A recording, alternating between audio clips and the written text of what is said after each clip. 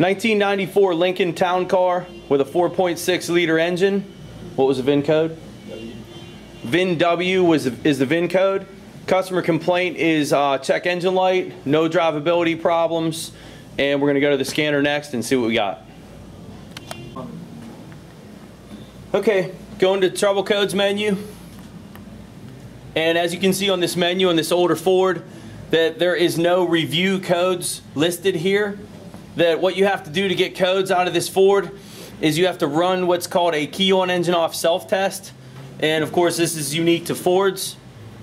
But before I can retrieve trouble codes from this vehicle, I have to run this key on engine off self-test. No reason to run the key on engine run self-test when you're just acquiring memory codes. There is codes that are stored in this vehicle, but to get them, I have to run the key on engine off self-test. You'll notice after I run this test that there's going to be a box that's going to show up here that says review code. So what this test does is it is kind of self-explanatory. It is a self-test and what the computer's doing right now is it's turning certain solenoids on and off. It's looking at inputs and outputs. It's looking for opens and shorts. And our list just showed up. Let me back out for a second and show you what I was talking about. Right there, now we have review codes now that I've ran this, the key on engine off self-test. So now we can review the codes and there they are. And what it tells you is um, key on engine off codes fixed first, obviously, because that means they're hard faults. It means those are the ones you want to fix right now. And you see we have a uh, 111, which is system pass, which is there are no hard faults right now. Our memory codes, these are the codes that are setting the check engine light for the customer, are the 332 EGR valve and the 634 manual lever position out of range. Now what we don't know right now is which one of these two, well I know the EGR valve one will set a trouble code, sorry, I know the EGR valve one will set the check engine light. I'm not 100% sure that that manual lever position sensor, which is simply the transmission range sensor on a Ford, I'm not sure that one will set the light. I'm not worried about that right now for this video. What I want to show is the EGR valve system test. And uh, I've showed this before on other Fords. I showed the complete process of energizing the solenoid and watching the DPFE voltage and and I just want to show a little bit different method because this is one I use and it's a little bit faster um, and it's a little bit more to the point. So next thing I want to do is I want to look at this um, DPFE sensor. Now this is kind of a generic code that um, see in parentheses it says EVP, PFE, DPFE. Those are the different sensors that Ford has used over the years. Older Fords had a position sensor that sat on top of the valve and they called them EGR valve position sensors. So that would be your EVP. This same trouble code would set for that sensor. Um, and then the, the next upgrade was a PFE, and that was pressure feedback. That was a single hose pressure sensor. And they got rid of the EVP, replaced it with a pressure sensor to measure flow.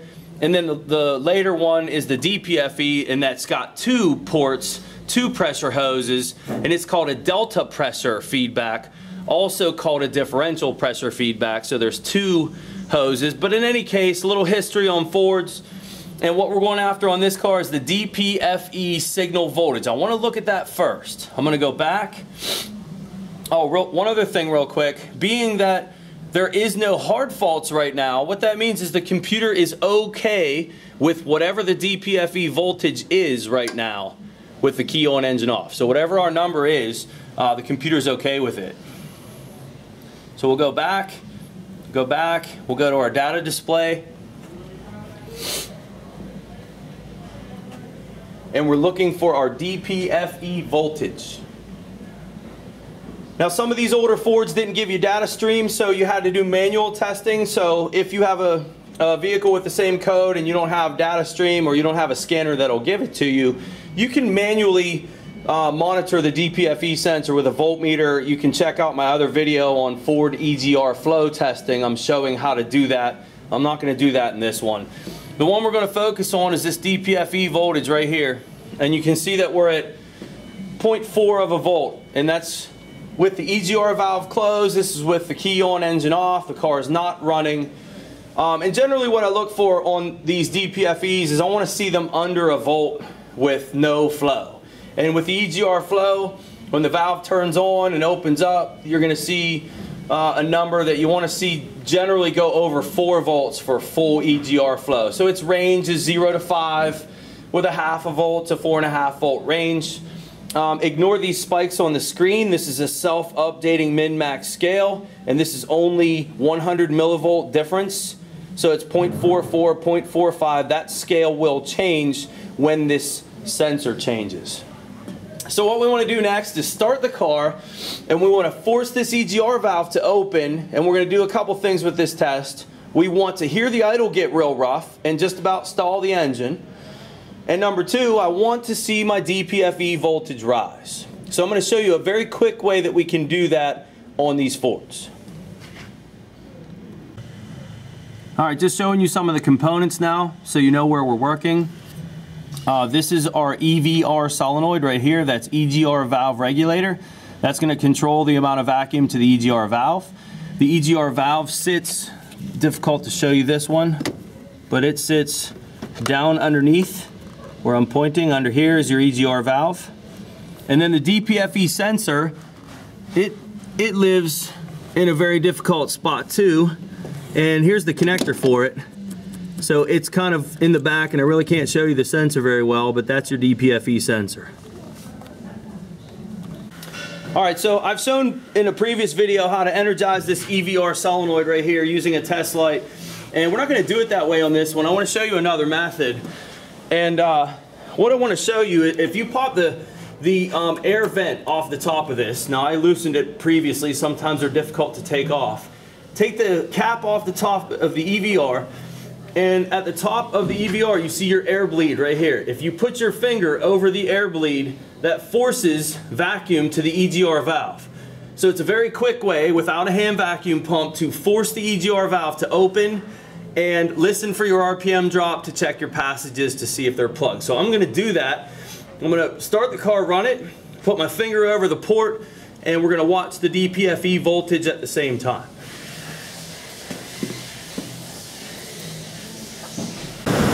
Okay, I got the engine running and we're looking at our DPFE voltage of 0.46 over here.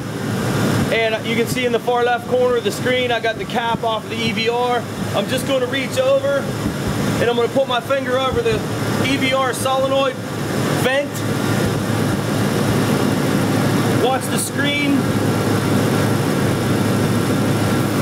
No change whatsoever.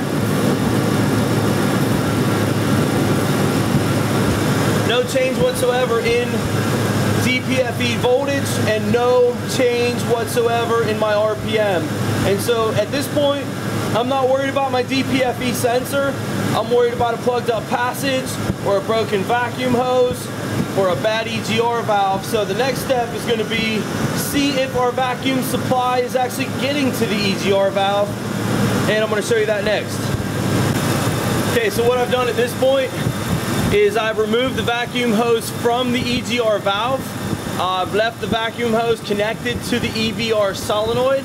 And what I'm showing is in this step is we're making sure that the EVR solenoid is in fact supplying vacuum to the EGR valve. So I'm gonna do the same test, watch the vacuum gauge.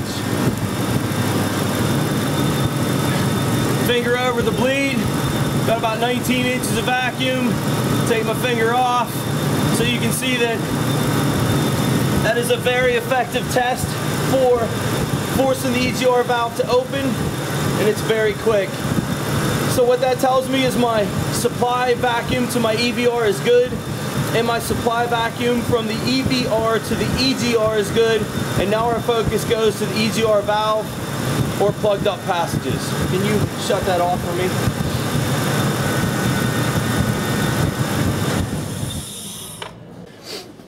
All right, so I've installed a hand vacuum pump now and we're gonna address the EGR valve itself.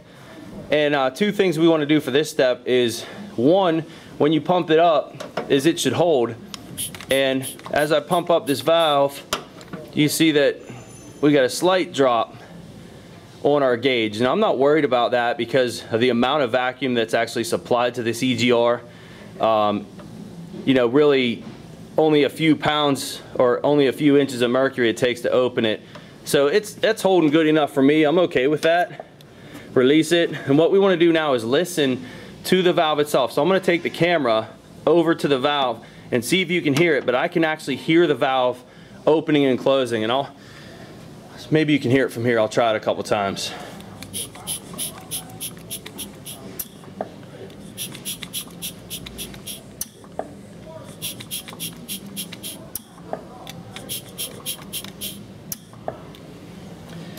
I'll move the camera closer, see if we can pick it up. Okay, I'm closer to the EGR valve. We'll see if we can pick this sound up on the camera. Go ahead, pump it up. Release it. Keep doing it.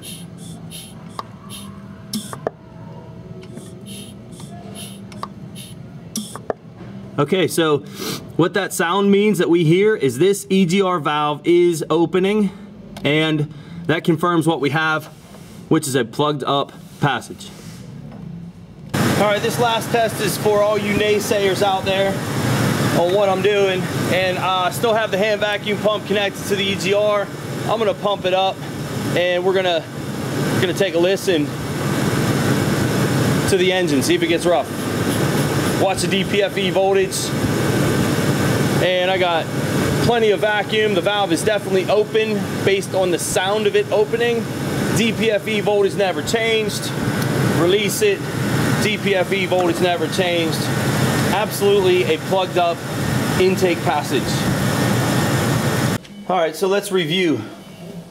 For you do-it-yourselfers out there, you're working at home, you don't have a scan tool that'll give you data stream. So you need to access the DPFE voltage, signal voltage on the sensor. You have to watch my other video for that on EGR flow diagnosis on a Ford. Just T-pin the signal wire, voltmeter set on a 12 volt scale, signal range under a volt. When you open the EGR, you want to see that voltage rise. Common problem, the DPFE is going bad. But truly in this case, we're not really worried about the DPFE because when we Force the EGR valve to open, the engine doesn't get rough at all. Does not change at all. So your focus would then go away from the DPFE and toward the valve itself or a plugged up passage. And so when you do this test and you're putting your finger over the hole for the vent and nothing's changing, the next thing you'd want to do is come down to the valve and unplug the vacuum hose on the EGR. And while you're putting your finger over top of this hole, you want to feel for vacuum at the EGR valve. If you feel for vacuum at the valve and it is there, you're done. Don't replace the valve. Don't replace the EVR. Don't replace the DPFE. You have a plugged up passage. Now, I guess you could you could have a torn diaphragm in the EGR valve. However, out of the all the flow tests that I've done on Fords, I've probably done hundreds of plugged passages and maybe two or three valves with torn diaphragm. So it is a possibility that you have a torn diaphragm with a valve. And truly, the only way to know is a hand vacuum pump, or you'd have to pull the valve off and do some inspection with the valve off. But the hand vacuum pump test, pump it up, and listen for the valve to open and close. I like that test, that's good enough. All right, so the last part would be where does this thing plug up? Unfortunately, I'm not going to be able to show you that on this vehicle. Customer doesn't want to do it. He's just going to drive the car. I need it for a day or so. This is actually at school here. It's a student's car and uh, you know he needs it for back and forth to work. So I can't show you how to clean this one. I'd like to. I apologize for that. But I'm going to at least show you where to go to clean this passage. All right, kind of tough to show you guys this shot. I'm going to do the best I can. I'm off my tripod, so I'm a little shaky here, I apologize. But here's your throttle body right here. And you have this extension piece that goes onto the intake manifold. Where these plug up is where this tube bolts to the intake. So if you look down close, it's kind of, again, tough to show you because I got hoses in my way. But that would be one of the bolts that hold the thing on right where my middle finger is pointing, that bolt right there. And so this metal tube, this kind of elbow, where this is gonna plug up is, here's your EGR and it runs a passage that way and it plugs up right around the base of this metal elbow air intake piece. So this whole elbow's gotta come off. Once you unbolt the elbow piece, you will see exactly where the passages are plugged up. This vehicle does not need any parts. It needs the intake cleaned. That's it. EGR flow uh, problem on a Lincoln, and this is very similar to any of the other 4.6 engines with this design. That's what happens to a lot of them. And again, the DPFEs go bad a lot too, but you gotta make sure you got flow, and that was an easy way to do it.